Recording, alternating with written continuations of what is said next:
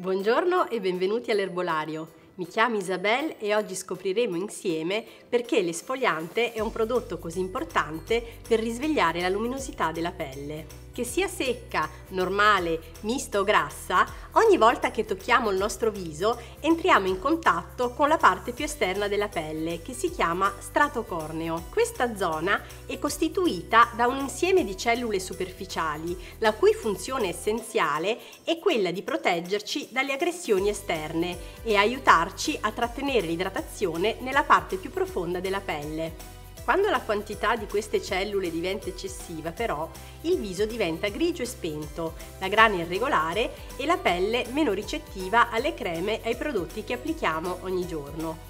Un esempio semplicissimo possiamo farlo utilizzando un pezzetto di nastro adesivo trasparente.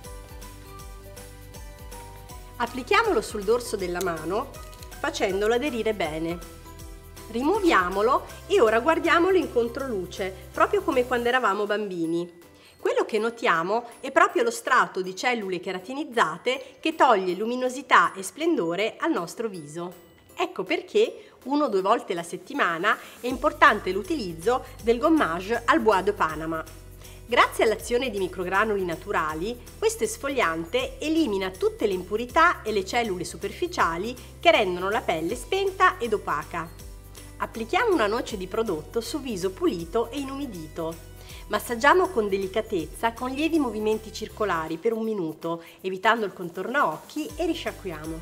Utilizzato regolarmente, moltiplica l'efficacia dei principi attivi contenuti nei sieri, nelle creme e nelle maschere e se lo usiamo anche in estate, prepara la pelle a una bronzatura più uniforme e duratura. Se desideriamo un'azione purificante ancora più efficace, subito dopo l'esfoliante possiamo applicare la maschera viso all'argilla e alla propoli. Utilizzata in modo regolare, la sua azione opacizzante e purificante riduce la formazione di punti neri e rende i pori dilatati meno visibili.